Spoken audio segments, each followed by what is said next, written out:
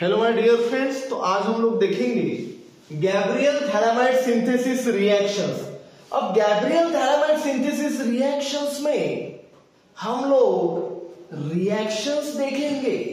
तो सबसे पहले बेटा हम लोग यहाँ पे रिएक्टेंट लेंगे थैलामाइड जो कि ऐसा कुछ दिखेगा बेटा। ऐसा बेटा, ऐसा। सी डबल बॉन्ड ओ इधर भी सी डबल बॉन्ड ओ और यहाँ पे बेटा ऐसा एच इसको कहेंगे बेटा आप लोग थैलीमाइड। प्रोनाउंसिएशन है बेटा थैलीमाइड। थ थैलीमाइड इसको कहने का नहीं। थैलीमाइड। अब ये phthalimide reacts with alcoholic K O H कौन सा बेटा? Alcoholic K O H A L C dot alcoholic K O H अब रिएक्शंस कुछ ऐसी होगी बेटा। ए ओ एच को लेके चला जाएगा। यानी माइनस एच टू ओ और यहाँ पे हाइड्रोजन के जगह पे पोटेशियम सॉल्ट आ जाएगा। तो ऐसा कुछ स्ट्रक्चर दिखेगा बेटा आपको? ध्यान दो यहाँ पे।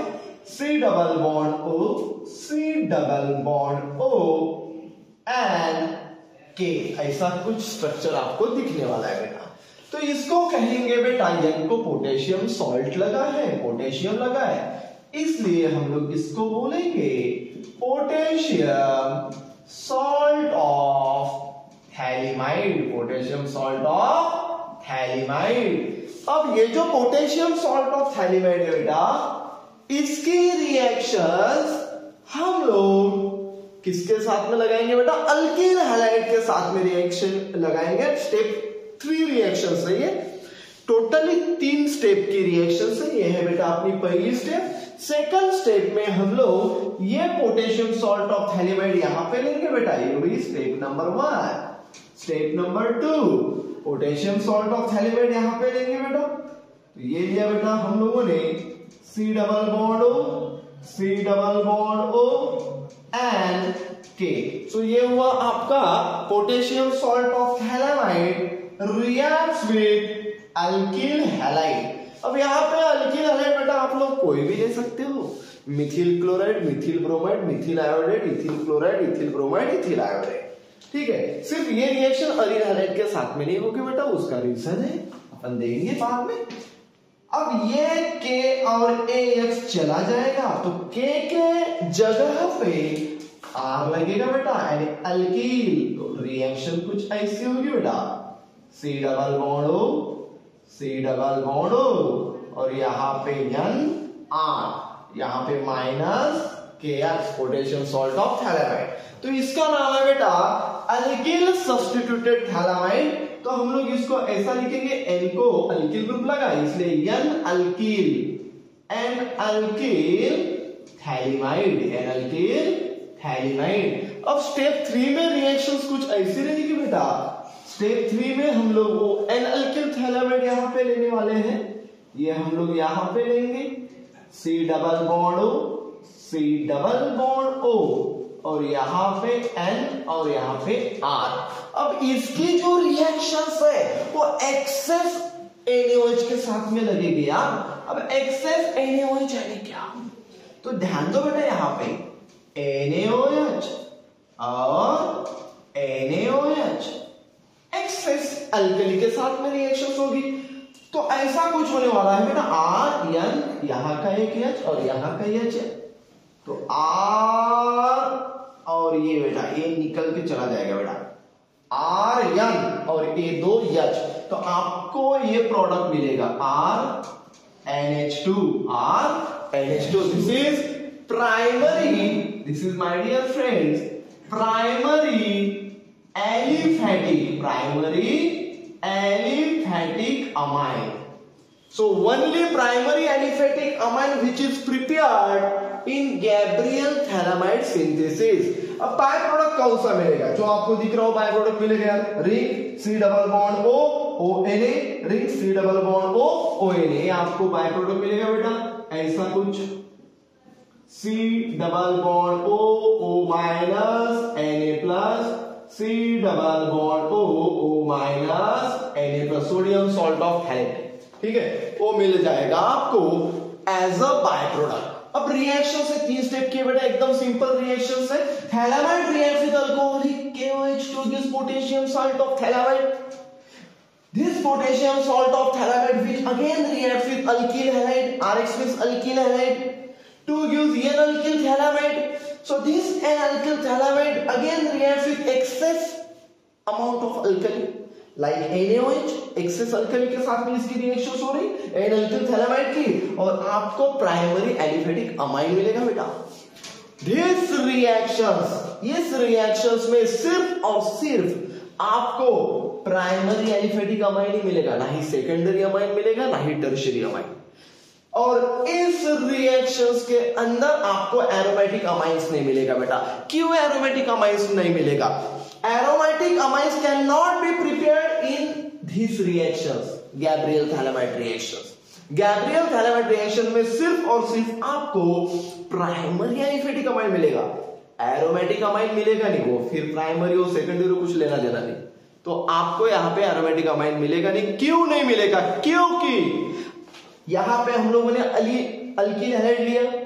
यहाँ पे हम लोगों ने अगर अरील हैलाइड लेते थे so aryl halide does not show nucleophilic substitution reactions समझ में आगे बात? इसलिए इस रिएक्शंस में आपको सिर्फ़ और सिर्फ़ प्राइमरी एलिफेटिक अमाइन ही मिलने वाला है। तो ये बेटा नोट डाउन कर लो आप ये बात। तो this is most important reaction अब कभी कभी क्वेश्चन पूछते how will you prepare methylamine by Gabriel phthalimide तो यहाँ पे जो आर है बेटा आर के जगह पे मिथिल रहेगा। अगर क्वेश्चन आया how will you prepare ethylamine by Gabriel phthalimide reactions तो इथिलामाइन ने यहाँ पे C2H5 आएगा। तो R के जगह पे जहाँ पे R दिखेगा, वहाँ पे क्या लेना पड़ेगा बेटा आपको? C2H5 अब यहाँ पे C2H5 तो यहाँ पे C2H5 फिर यहाँ पे C2H5 यहाँ पे C2H5 इनडायरेक्टली ऐसी रिएक्शन होने वाली है। अब देखेंगे बेटा नेक्स्ट रिएक्शन तो चलते हैं बेटा नेक्स्ट रिएक्शन की तरफ़। ये नोट डाउन कर लो बेटा अच्छे से समझ में आया बेटा आपको?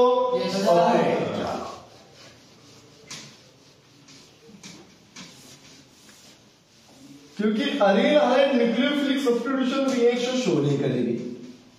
जो कि अनायन फॉर्म होगा थैलेमाइड से उसके साथ में। इसलिए ये रिएक्शन सिर्फ़ और सिर्फ़ प्राइमरी एलिफेटिक अमाइन शो करेंगी अब देखेंगे बेटा नेक्स्ट रिएक्शंस नेक्स्ट रिएक्शंस देखने वाले हम लोग. हॉफमन कार्बिल अमाइन रिएक्शंस क्या देखेंगे? हॉफमन कार्बिल अमाइन रिएक्शंस ध्यान दो बेटा यहाँ पे. Hofmann carbylamine reactions so Hofmann carbyl Hofmann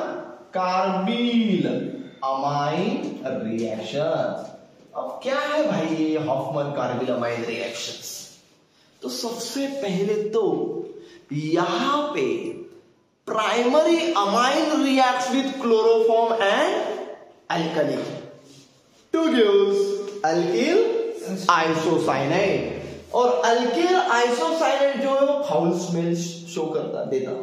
ठीक है? डेलिकेशन स्मेल देता।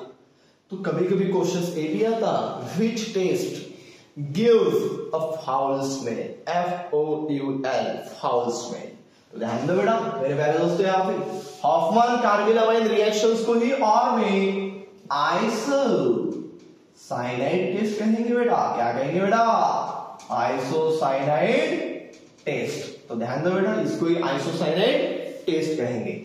क्या करेंगे आप? हम लोग यहाँ पे क्या रिएक्शंस लेंगे? ये लेंगे हम लोग प्राइमरी अमाइन ये लिया हम लोगों ने वन डिग्री अमाइन यानी प्राइमरी अमाइन प्राइमरी अमाइन की रिएक्शन किसके साथ में होगी? चलो बताओ जल्दी। चलो बताओ जल्दी।